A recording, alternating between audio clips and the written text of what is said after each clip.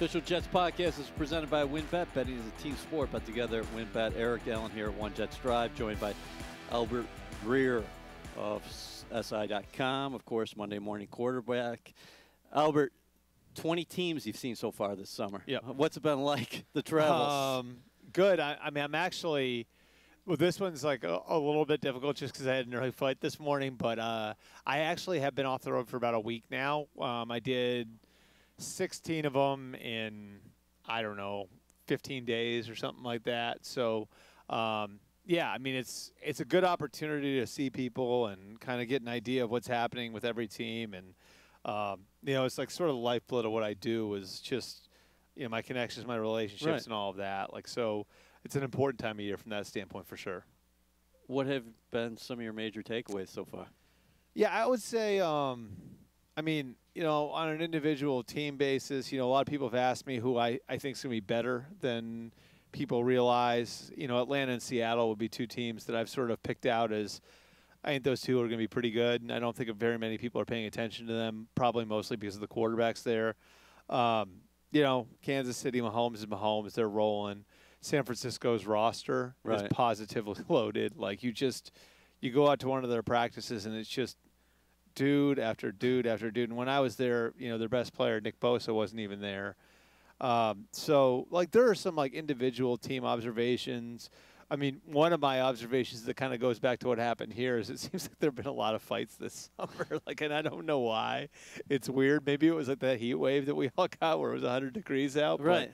But, it feels like there's been more and more fights. And I, I know, I even know it's to the point where there was a team there's a couple teams that are um, you know doing joint practice this week where the team hosting the head coach called the other head coach and said we're not doing one-on-ones with you because they had gotten into fights in a previous Mm. set of joint practices in their one-on-ones so uh, that's just an observation. I, there's nothing scientific behind that. Like Right. it's not like I've count. It's not like I have a tally of the number of fights, but it feels like there's been a lot Do, do you think that's been a change uh, when you go back? Uh, Because you've been covering the Uh, league for a while. Yeah, I mean, I, I don't know. I maybe it's, you know, maybe it's like oh, another one of the remnants of COVID. You know, like because that first summer in 2020, obviously nobody was doing joint practice. I feel like were there none, or maybe just a lot less in 21. And so, you know, what people don't realize is how much of the league is third and fourth, the guys in their in their first three or four years, like almost the entire league. You know, there are very few guys that actually make it past um, three or four years. And then, you know, when you get to training camp, there's a 90 man roster every, on every team. I don't know what the number is, but a huge majority are young guys. So maybe it's, and I'm just kind of like workshopping this in my head now, but you know, maybe it is like that there are a lot of guys who don't know how to handle themselves in these situations. Yeah, I don't You know. what I mean? H- How, how, how have teams reacted to the one cut down now? That's a big time difference than what we've seen in the past. Yeah, I, I don't know the cut downs. Like, I, I, I think it's cleaner, it's easier. I, I think the way it was done before was in part to, like, it was. I think it was about that fourth preseason game. Now you can look at it both ways, whether it's cleaning up who plays, making it simpler for coaches to kind of do the assessment of who's playing, or making it harder for teams to not play starters, which you know the league might be trying to do.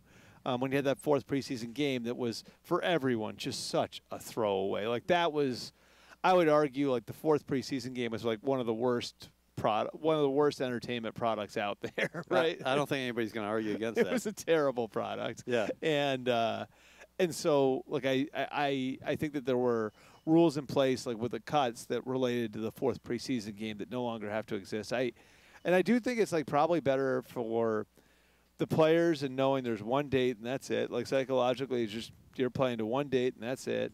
Um, and then for the teams on the other side of it, like you do know who your team is earlier. You know, Right. You know, you know instead of that Saturday after the fourth preseason game, now you sort of know. I think it's Tuesday or Wednesday, which probably allows you to better prepare for week one. And then you have the expanded practice squad, of course. Yeah. Uh, you mentioned dudes before. You saw, you've seen a lot of dudes here this summer. But what do you think about those that reside here in Florham Park, wearing green and white? Yeah, there's. I mean, look, like I, I think a big part of it is um, you have to have a good team to attract a quarterback like the one they attracted here, and that was sort of the hidden thing about Tampa. You know, a lot of people were like, "Whoa, Tom Brady went to Tampa." look at the other team that he was looking at was the Chargers, right? Mhm. And a lot of people knew, like, oh, well, the Chargers they lose Philip Rivers, you pluck the quarterback out of there. Is it like, are they just a quarterback away? And then they draft Justin Herbert. They didn't get Brady. We see it's like sort of worked out that way. And I think it was sort of the same thing with the with the Bucks. Uh, people didn't see it at the time because they hadn't made the playoffs in a long time.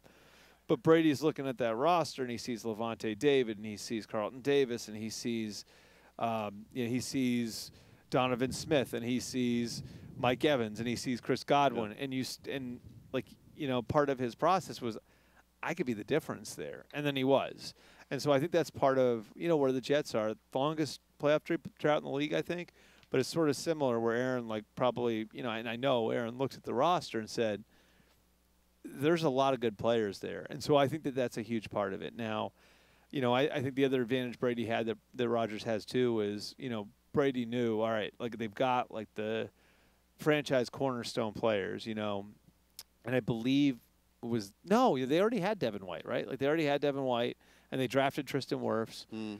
and um, but Brady knew like all right like the foundation pieces are in place and I can kind of go get some of my guys in here to supplement that. It's sort of the same thing here where um, you know, like you look at the Jets roster, you have the number one receiver, you have the number one corner, you have the pass rusher. It's not an edge rusher, but it's an interior guy in Quinnen Williams. You have the middle linebacker. You have a lot of like foundational pieces, and he could come in here and he could bring some of his guys with him. Obviously, Lazard's here, Cobb's here, Mhm. Um, to fill in the blanks and kind of complete the team. What does he have to be here, not just for the Jets to be a playoff team, but thought of as a contender? I mean, I think they're already a contender. You do? um, because they were seven and four last year, and the bottom fell out. And look, considering how bad the quarterback situation was last year, it's amazing they even got to seven and four. It's sort of a testament to the rest of the roster, and that's no offense to, you know, to Zach Wilson or Joe Flacco or any of the other guys, but it was just it was what it was. It was a mess, you know. And so the fact they were even get able to get to get, get to seven and four before the bottom fall, fell out, I think is sort of indicative of what the roster can be. So look, I don't think Aaron needs to be Superman. I think he needs to be Aaron Rodgers, and I think that that's probably going to take some time. Mm. And you know, I, I think a lot of people forget that there were fits and starts at the beginning for Brady, and when you've got a guy who's been doing things his way for so long, one way for so long, and then he's thrown into a new environment, and now, all right, like how do we do this? How do we do this? How do we do this? they're going through all of that in the spring and summer, but then there's also the element of when you get to the fall, some of that stuff's not going to work. Right. You know what I mean? Yeah. Like, so you're going to stub your toe, and some things are going to go wrong, and you're still going to be building the relationships, and you're going to have to do things by fire.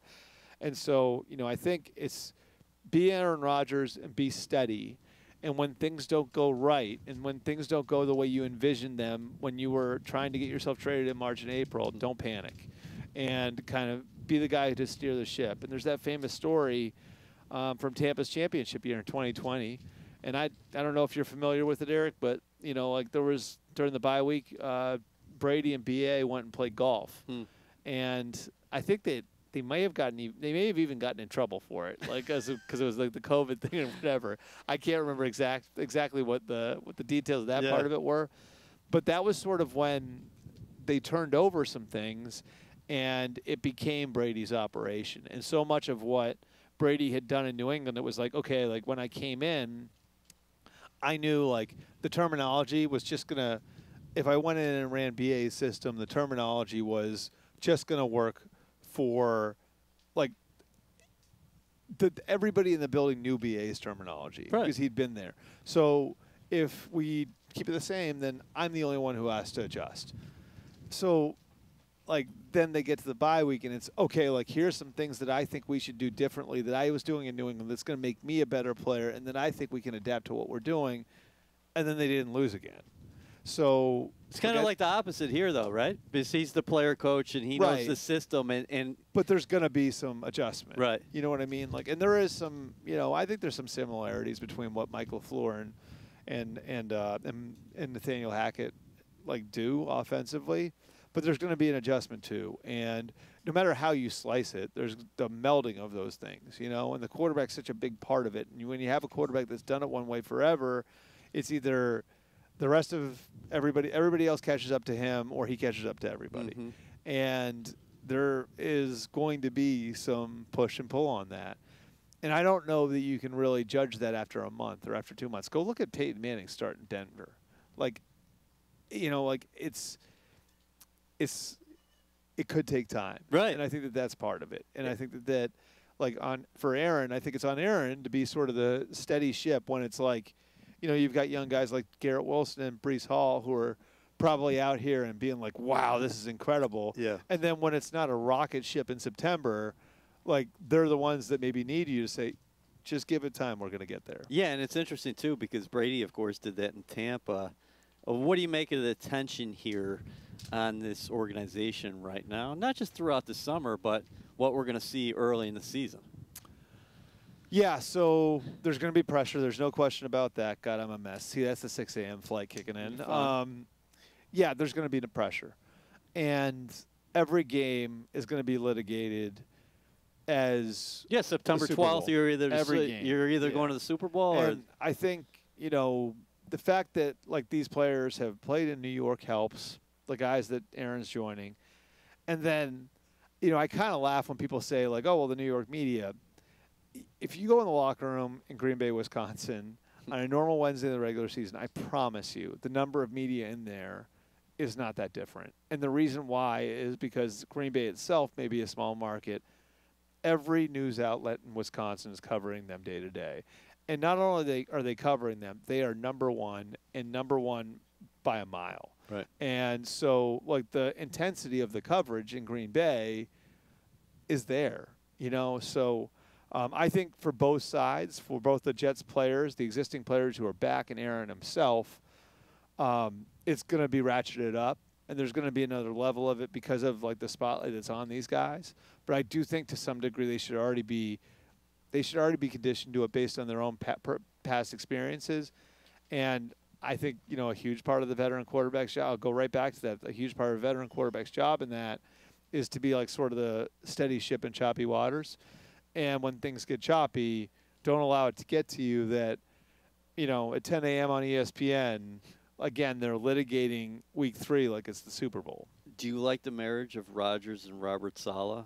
Because Yeah. we've we've talked about Saleh in the past, but the way he kind of connects to the players, it remains a positive presence, and I think he's going to uh, preach uh, something in terms of staying in the moment to his players during the season because he knows what's ahead. Yeah, and I think, you know, Robert's experience having been on Super Bowl staffs before, having gone through it in Seattle, and having gone through it in San Francisco, and being on the defensive side and understanding how the whole thing comes together. Um, I mean, look, like there was tension in Seattle, like, and everybody knows it now. It was real when they were there, you know, and like that was part of the program, you know, like in a way, like the competitiveness, the juice. A lot of it was like almost spilling over all the time. Um, and you know his experience in San Francisco, of course, with you know a team that was built from the ground up. Like that was when Kyle and John got there in 2017. That was a complete teardown. Like that was from. So I think understanding every step of that and understanding what goes into that and understanding kind of what it takes to take that last step and turn yourself into a super Super Bowl team is going to inform Robert on how he handles everything this year. And like I do think like the fact that he's sort of a walk around head coach and a CEO head coach and he's entrusted a lot of like the defensive stuff to Jeff Ulbrich, not saying he's not involved, but like obviously he is, but he's like sort of like the the guy in front of the team is going to help too because he's going to be able to manage a lot of the things that come along and all the bumps that you know inevitably you're going to hit in an NFL season. You mentioned Brady before. You covered him for decades. What are the significant similarities between the two guys as far as players and people, him and Rodgers, and then maybe the most significant differences? Um, well, they're both from California. Yeah, of course. Um, they grew up about two hours apart. Um, yeah, you know, I'd say um, I'd say there's a similar chip on the shoulder where um, personality-wise, where you know I think there's it sort of fuels the competitiveness for both guys. Um, and I do think for Brady, it's a little bit more.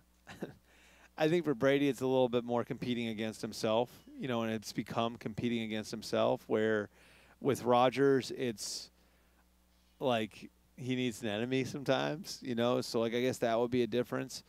Um, I, I think their command Yeah. is similar, and I think that the way that the people who are beneath them talk about them is similar. And you know, I, I I've always felt with both those guys like you walk into one of the buildings that they're in, Green Bay for Brady or uh, for for Rodgers, and obviously Tampa and New England for for Brady, and there'll be some person in that building nobody's ever heard of, who people wouldn't even understand what their job is, who's got something nice to say about them. Um, and both those guys have sort of, when they've had friction in their organizations, it's been punching up. Yeah. You know what I mean? Like so, like I think that that would be another similarity. Um, play style is very different, of course. Well, of course, You know, yeah. but but I do think like there's a a knowledge and a command over everything that's going on out there that they both have, and an understanding of the ebbs and flows of the game. Um, obviously, Brady has six more rings, so like there is something with Brady and the way that he performs on every stage on, on the biggest stage almost always at his best that is i think incomparable in all of sports i mean it's like michael jordan Michael Jordan. you know what i mean it's Yeah. michael jordan it's like no matter what like that guy when you can count on it if it's a big game you may not win every one of them but you're going to get like a a plus effort from him you know um, but yeah, I mean, there are probably more similarities than differences. I'm rambling a little bit now. No, Again, I, I, I like it. thing. I like the Jordan comparison. Jets fans, we're in our final push and the clock is ticking. WynnBET is giving you a golden opportunity to win VIP prizes for the 2023 season. The WynnBET Green Room is the most exclusive space at the stadium with all inclusive food and beverage, lower level seats, and appearances by Jets legends and celebrities. New Jersey customers, all you need to do is wager at least $100 on WynnBET Sportsbook or Casino. For New York customers, all you need to do is wager at least $100 on WynnBET's sportsbook. The best part, you get an entry for every $100 you wager. Do you sense being on the ground here? Do you sense the excitement yeah, inside the building? obvious. Yeah. I mean, you walk in. I mean, I you know Eric. I, I mean, that didn't feel like just training camp last year or the year before out there. You know, when I was out there today, and and that's like, I mean, it's not like this is the first day. You know, they're deep into camp Sure. now, and it's a weekday, and they're still. It's still loud, and there's still a ton of energy out there, and you know I think that that's a good sign, like for where the team is. Like I, I don't know if they're going to win 13 games or six games, but it does seem like it's an engaged group. And I think one of the great things about you know the when you bring in a quarterback like that, whether it's Favre or Brady or you know Manning or now Rodgers, is I feel like when those guys change teams, the new team gets this added benefit, which is like everybody's at attention at all times Mhm. and every game matters. And I sort of think like the acquisition of Dalvin Cook plays into that. It's like like Breece Hall's one of their best players. You could argue, I and, and Garrett's awesome. I'm maybe a little biased on Garrett because where he went to school, but um, Garrett is like like. but- But I think you could very easily make the argument when Breece went down, he was their best offensive player. Right. And so, like, if you want to be careful with him coming back off the ACL over the first month of the season, well, it's hard to do that in an all-in type of year, where, like, you can say what you will, there's a difference, like, right, like where every single game counts from the start, and you're worried about seeding from the start, and it's like this year matters more than any other year that we've had here in a long time, and so you see like the acquisition of Dalvin Cook. Well, what does that do? It means like if you do want to be careful with Breece, you're not going to be tempted to pull the ripcord on him before he's ready for it. You know, Mhm. and that's not saying Breece won't be full go week one. It's just saying you're preparing yourself for those sorts of things. You have the opportunity to play the long game. yeah, and there's an, like so like that's the attention thing. Like that's like we know like every single game that we have with this guy counts. And in the end, um, you know, the Bucks got what? It would have been 50 regular season games with Tom Brady. It was a roaring success because they won a championship. Yeah. And I think you could argue that he changed their franchise. And you know, I think you know, with a guy at that age, you're only going to get so many swings with that quarterback. The Jets don't know how many swings they're going to get with Aaron Rodgers, so you got to make the most of the swings that you get. And I think it, it permeates everything. You know what I mean? Like from the way the coaches work to the way the players work to the it just to I, I it's this thing that's like it's hard to describe, but you know it when you see it. And I can remember it clear as day in Denver when when when um, when Manning. when Peyton Manning was there, and uh, you know you go back to like Minnesota and the way a lot of guys kind of like took off their careers took off when Favre even defensive yeah. guys like I if I remember right, Jared Allen like took another step as a pass rusher when Brett Favre got there. Why do you think that was? Let's say it's not because he's throwing him the ball. You know what I mean? Yeah. and um, and obviously same with Brady in, in, in Tampa. It's like, you know, you look at like how Chris Godwin's career took off when when Brady got there. You look at the way Demaryius Thomas's career took off in Denver when Manning got there. Yep. That's what you're looking for. That can be the multiplying effect of it. Eric Decker was out here at practice the other day. Mhm. You talk about the sidelines, how they're full every day. Vinny Testaverde out here watching practice. Yeah, Decker's one of those guys who benefited from Manning. Oh yeah, Yeah. no doubt. He had a great year here with uh, Brandon Marshall. Yep. That was the last time the Jets were on the cusp of making the playoffs. You mentioned the running back position and Dalvin Cook. So C- Cook enters the equation, and the Jets, if you got a healthy Cook, and you pair him up with a healthy Breece Hall, I mean, you still have Michael Carter here, Yeah. who was so impressive as a rookie, and I think people forget what he can do. Uh, uh, Zonovan Bam Knight, and we're talking about Israel Abanikanda. That running back, the running back stay was right up there with anybody. Right, and that's like the that's why I think like the depth thing is really important. And you know, you look at like Tampa, like Tampa was okay at tight end. they still went and got Gronk. Yeah. you know what I mean? Right. Like, like Denver was okay at receiver. They still went and got Emmanuel Sanders. They still went and got Wes Welker.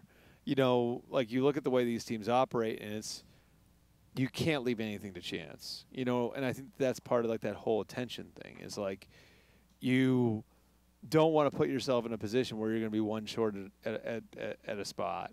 And because you've got that quarterback, you can attract veterans that you probably couldn't have attracted. You probably wouldn't have been able to attract the same way before.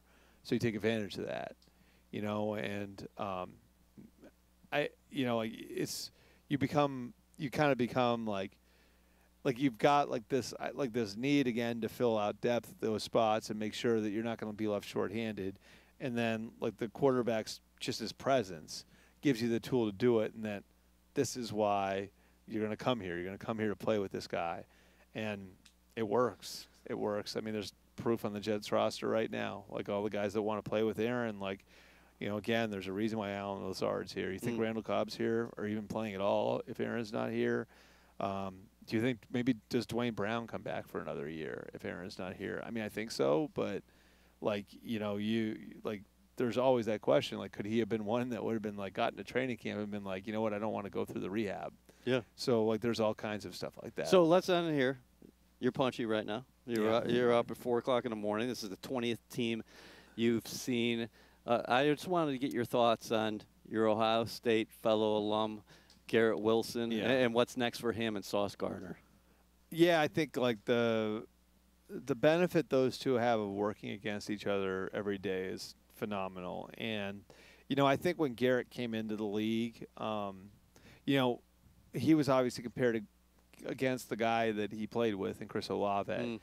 And you know, I think the one thing that's been so great about this is like if you talk to people at Ohio State, what they would tell you is like Garrett, like Chris was like a pros pro when he was in college, and Garrett still had some growing up too. Garrett was still like a college kid, you know, and you know, I I talk to people here about this now, and they're like, oh, his approach, like he's such a competitor and he's so locked in. He walks You know- around like a ten-year vet. Yeah, and like you see it, like and so, um, and I think part of it is like you know, Aaron Rodgers is here now, you know, and not that it wasn't here last year, but so I, I mean I think the sky's the limit for him. The fact that he and Sauce are here together um, is phenomenal. You know what I mean? Like that they get to work against each other and push each other. It was fun watching them out there today. Um, and yeah, I mean, I, I think I always thought like like Garrett sort of com- watching him at Ohio State. I always thought of like DeAndre Hopkins watching him. Mm. Um, some people have compared him to Stefon Diggs. Um, I think there's a good chance he's a top ten receiver in the league. I say that from an unbiased point of view. I promise. Like I think he's a. There's a good chance he's a top ten receiver in the league, and you know, part of it's Aaron being here, but a part of it's what he's bringing to the table now, and I think some of his growth since um, he was drafted, whatever it was, 17 months ago. Uh, 14, 18, 16? I'm, I'm my gonna say is I'm so gonna fuzzy. say I'm gonna say at the end of the day he's gonna be considered a top five receiver in the league. There you He go. 1,100 yards Well, you start receiving as a rookie with four different quarterbacks. But you start you start naming off guys, Yeah. and it's like I All know you start going a deep list. All right, so Albert Breer, SI.com, also Monday Morning Quarterback. You always have to read him to find out what's going on in the National Football League. Uh, thanks for your game effort out here, You got despite the lack of sleep. all good. Thanks, Eric.